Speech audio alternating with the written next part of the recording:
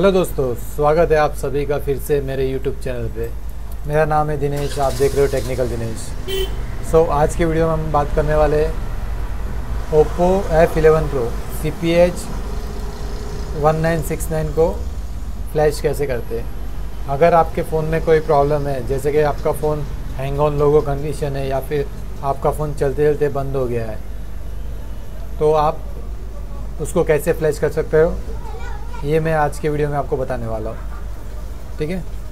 तो चलो शुरू करते हैं। तो सबसे पहले आपको क्या करना है? सबसे पहले आपको ये दो फ़ाइल डाउनलोड करनी होगी।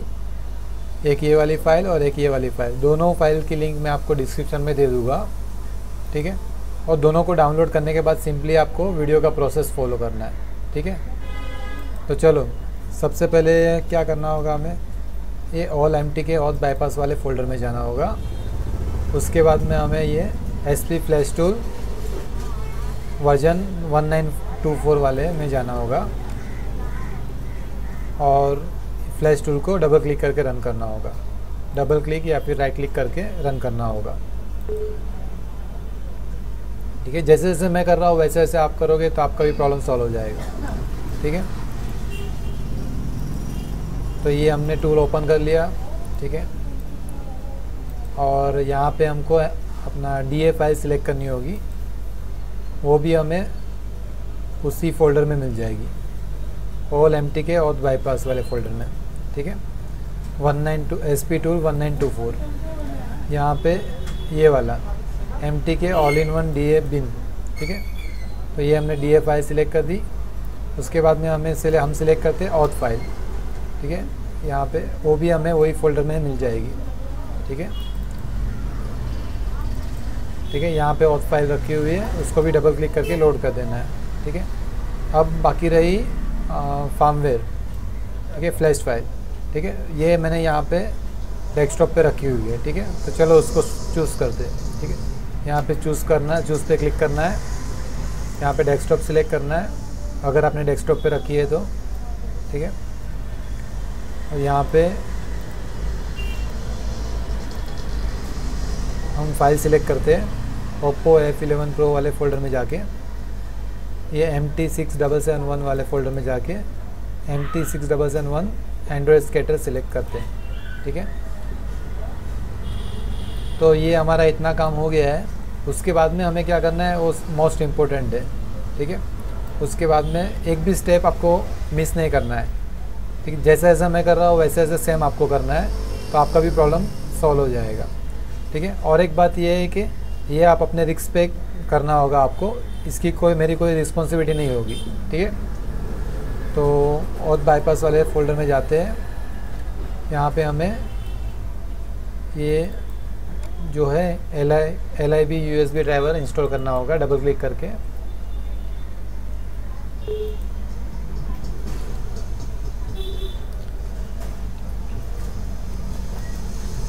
नेक्स्ट और एग्री करना है।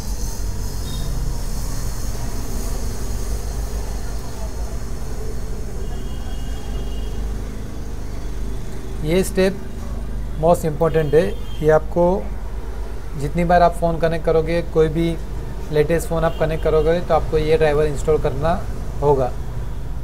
ऐसा नहीं कि एक बार इंस्टॉल कर दिया तो काम हो गया। एक बार इंस्टॉल कर कर दिया, उसके बाद में आपने कोई फ़ोन पे काम किया, उसके बाद में सेकंड टाइम आप दूसरे फ़ोन पे काम कर रहे हो तो सेकंड टाइम भी आपको ये ड्राइवर इंस्टॉल करना होगा। ठीक है? तो ये इन्होंने इंस्टॉल कर दिया है, उसके बाद में यहाँ पे नेक्स्ट करना है। नेक्स्ट करने के बाद में यहाँ पे हमें इसको कैंसिल कर देना है, ठीक है? एक भी स्टेप मिस मत करना। जैसे जैसे मैं कर रहा हूँ, वैसे वैसे आपको करना होगा, ठीक है? उसके बाद में हमें ये और बाईपास वन क्लिक वाले फोल्डर में जाना है। यहाँ पे हमें ये डबल क्लिक करके ये सॉफ्टवेयर रन करना है, ठीक है?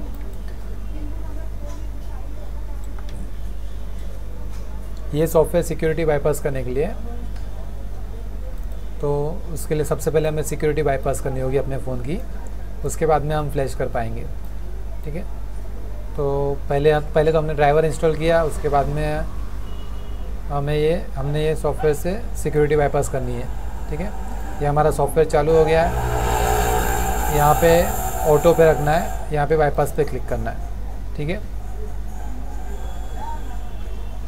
और अपने फ़ोन को स्विच ऑफ़ कर देना है। यहाँ पे इंस्टॉलिंग ड्राइवर आ रहा है तो हमें थोड़ा वेट करना होगा। ठीक है? यहाँ पे ओके आ गया है और लिख के आ रहा है वेटिंग फॉर ग्रोम ठीक है? तो अपना फ़ोन स्विच ऑफ़ करके वॉल्यूम के दोनों बटन प्रेस करके हमें अपना फ़ोन कनेक्ट करना होगा, जैसे मैं कर रहा हूँ, ठीक है? और यहाँ पे साइड में ड्राइवर डिवाइस मैनेजर ओपन करके रखोगे तो ज़्यादा बेटर होगा। तो यहाँ पे हमें पता चलेगा कि हमारा फ़ोन कनेक्ट हुआ कि नहीं हुआ, ठीक है? ठीक है तो चलो फ़ोन कनेक्ट करते हैं। डबल क्लिक अपना वॉल्यूम के दोनों बटन दबा के।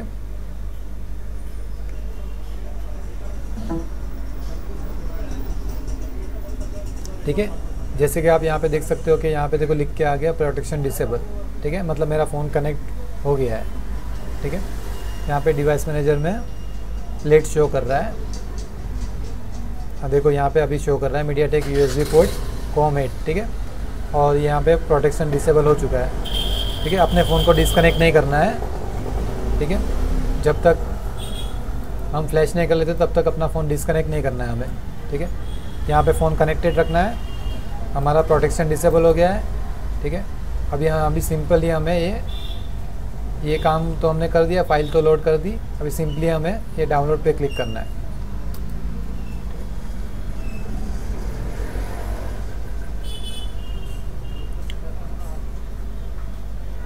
तो देखो, यहाँ पे फ्लैशिंग स्टार्ट हो गई है। जैसे कि आप देख सकते हो कि फ्लैशिंग स्टार्ट हो गई है। ठीक है, हमें फ्लैश पूरा होने देना है। थोड़ा टाइम लेगा फ्लैशिंग होने में, क्योंकि फ़ाइल थोड़ी बड़ी होती है, इसलिए फ्लैश होने में टाइम लगता है। कम से कम फ्लैशिंग होने में 10 मिनट 10 से 15 मिनट लग सकते हैं। आपकी पीसी की स्पीड पे डिपेंड है। ठीक है? तो चलो, उसको फ्लैशिंग होने देता हूँ। ठीक है? डिवाइस मैनेजर को मिनिमाइज कर देता हूँ।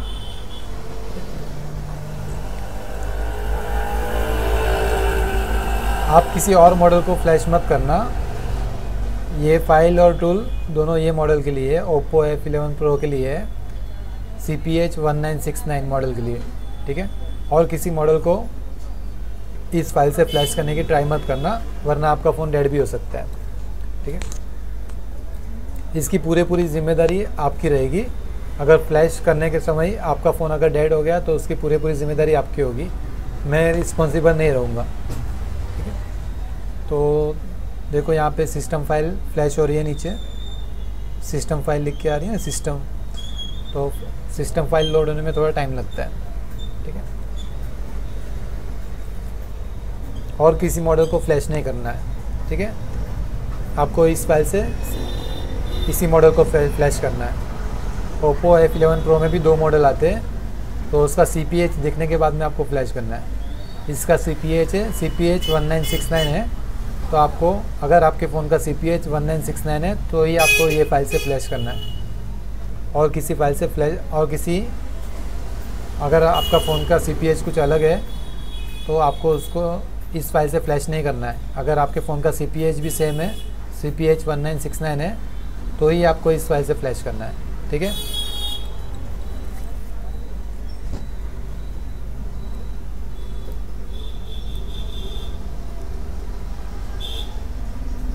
फ्लैशिंग करने से आपके बहुत सारे इश्यू सॉल्व हो सकते हैं। जैसे कि आपका phone hang on logo condition में और या फिर आपका फ़ोन डेड कंडीशन में, चलते चलते बंद हो गया है।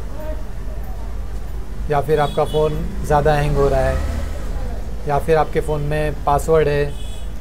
एक्सेट्रा प्रॉब्लम के लिए आप फ्लैश भी कर सकते हो, लेकिन अपने रिक्स पे कर सकते हो, ठीक है? अगर आपको ये मेरा वीडियो अच्छा लगे तो वीडियो को लाइक करना मत भूलना और चैनल को सब्सक्राइब करना मत भूलना, ठीक है? यहाँ पे थोड़ा टाइम लग रहा है सिस्टम फ़ाइल लोड होने में।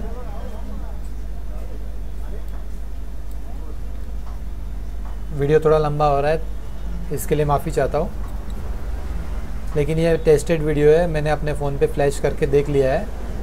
इस वजह से मैंने अपने फ़ोन को फ्लैश किया था, मेरा फ़ोन डेड कंडीशन में था तो फ्लैश करने के बाद मेरा फ़ोन ऑन हो गया। इससे आप अपने फ़ोन का पासवर्ड भी खोल सकते हो, बहुत सारी चीज़ें कर सकते हो। हैंग ऑन लोगो कंडीशन भी सॉल्व कर सकते हो। आजकल के फ़ोन में बहुत सारी डिफरेंट डिफरेंट टाइप की प्रॉब्लम्स आती है। कभी phone hang on logo condition में स्टॉप हो जाता है, कभी डेड हो जाता है चलते चलते। कभी फ़ोन और चालू नहीं होता, नीचे सिर्फ़ लेफ़्ट कॉर्नर में रिकवरी लिख के आता है, वहाँ पे स्टॉप हो जाता है। बहुत सारी डिफरेंट डिफरेंट टाइप की प्रॉब्लम्स आ रही है आजकल। तो कोई भी प्रॉब्लम के लिए आप फ्लैश कर सकते हो इस मॉडल को, इस फ़ाइल से। C P H one nine six nine model को इस फ़ाइल से आप फ्लैश कर सकते हो।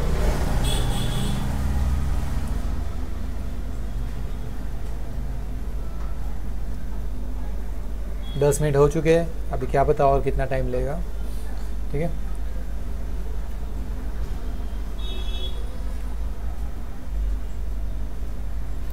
ये फ़ाइल की और ये टूल की लिंक मैं आपको डिस्क्रिप्शन में दे दूँगा। वहाँ से आप डाउनलोड कर सकते हो। अगर आपको कोई इशू आता है कुछ फ्लैशिंग करने में कुछ प्रॉब्लम आता है तो आप कमेंट करके कमेंट बॉक्स में जाके कमेंट कर सकते हो।